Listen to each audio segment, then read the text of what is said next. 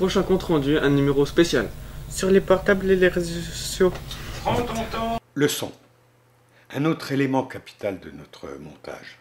C'est sûrement la partie la plus délicate à traiter. Alors si la caméra est bien équipée pour la prise de son, une bonne partie du travail est déjà faite. Par contre, les petits caméscopes ne sont pas tous pourvus d'un très bon micro. Quelques conseils, toujours tourner avec un casque. Si quelqu'un passe dans le champ, vous le voyez. Si par contre on parle dans la pièce d'à côté, vous ne pouvez pas l'entendre. Donc vaut mieux que vous l'entendiez au tournage, vous alliez leur demander de se taire et de recommencer, que d'arriver chez soi et de le découvrir en dérochant les, scènes, parce que là on ne pourra jamais la refaire. Si les jeunes réussissent à s'interpeller euh, d'un bout à l'autre d'une cour, il n'en va pas de même devant une caméra. Généralement, ils n'ont plus de voix, ils parlent comme ça, ils sont intimidés, ils n'osent pas, enfin bref. C'est toujours une galère de, sous-enregistrer. Hein. Vaut mieux à la limite baisser un petit peu que de gonfler euh, une bande son. Alors les bruits parasites, vous allez avoir par exemple des néons, une mauvaise terre, une climatisation. Hein. Tout, ça, c'est une horreur. Alors, vaut mieux, quand, vous donnez les ordres, essayer d'enregistrer une partie où il n'y a que du son. Hein, avec certains logiciels, il est plus facile de sélectionner cette partie-là pour la retirer sur l'ensemble de la bande. On sélectionne la partie de parasite que l'on veut retirer.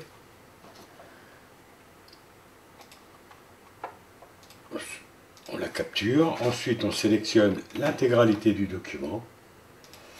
Et on va retirer ce qui nous embête.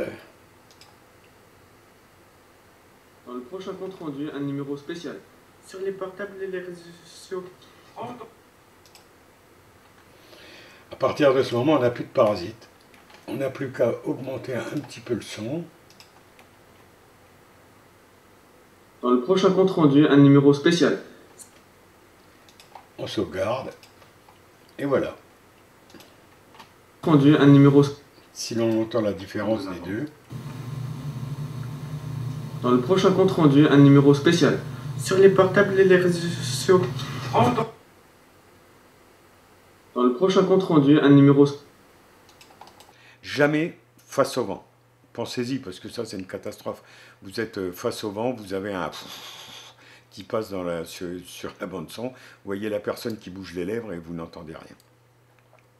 Privilégiez les sons ambiants. Si vous avez besoin d'une voiture, allez euh, d'un son de voiture, allez directement enregistrer le son d'une voiture bien souvent euh, sur les, sites gratuits où on peut attraper des bruitages, c'est pas de très très bonne qualité. Alors autant on peut avoir une, belle image avec quelques filtres, hein, autant euh, on peut se retrouver avec une bonne son de très très mauvaise qualité.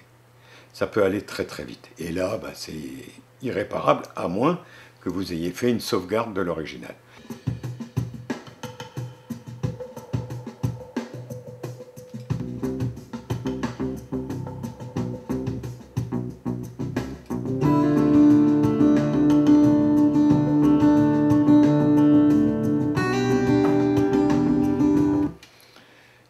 Est aussi un moment important pour... Euh, hein, vous allez illustrer vos, films avec ça.